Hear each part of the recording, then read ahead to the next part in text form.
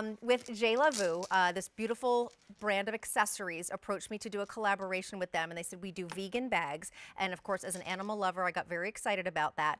And of course, because I also love tie dye, and I know many of you do too, I had to do a tie dye option. But we have several choices here. This also comes in a solid red. It is canvas. We have this big turn lock closure here. It converts from a shoulder bag to an actual crossbody, just like that.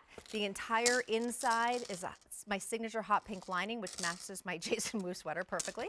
Um, and also, I'm gonna, I think there's some paper in here. I'm gonna take it out. Let's look at Blair real quick, she's wearing the other color, and she has on the beautiful pink tie-dye right there. Actually, the red is sold out, but we have the blue and pink tie-dye remaining, and I just love the look of it. The tie-dyes are a little different. It's completely quilted. It's about 11 by 8 inches, and I do want to show you the inside real quick. Thank you, I took the stuff out.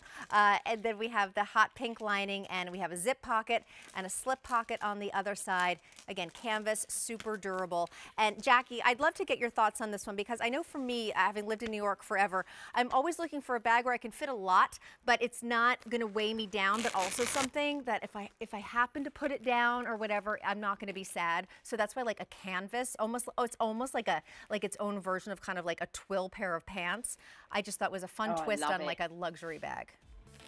Yeah, and the perfect size too, because it's, it's hard to find that iconic Goldilocks size. Yes. You know, the size that isn't too big, that you have to schlep around, doesn't work, but the size that carries everything you need to. And it, getting a statement bag, something that you're just going to wear with like a really, e- if you just have a, like a really simple coat, yeah. and just, you know, easy pair of jeans, like the Ava jeans, like really simple, and a fabulous, fabulous bag. That's really all you need. And of course, named after named named after um, sadly no longer with us Barney's department store in New York because these are the types of bags yeah, I would see on the gorgeous shoppers there. Over a hundred ordered, but I know we don't have many remaining. In fact, it's only five dozen in each remaining, and I can also tell you with 100% certainty these are not coming back. These are our final quantities. So just so you know, I know if you get it home, I think you're gonna love. it.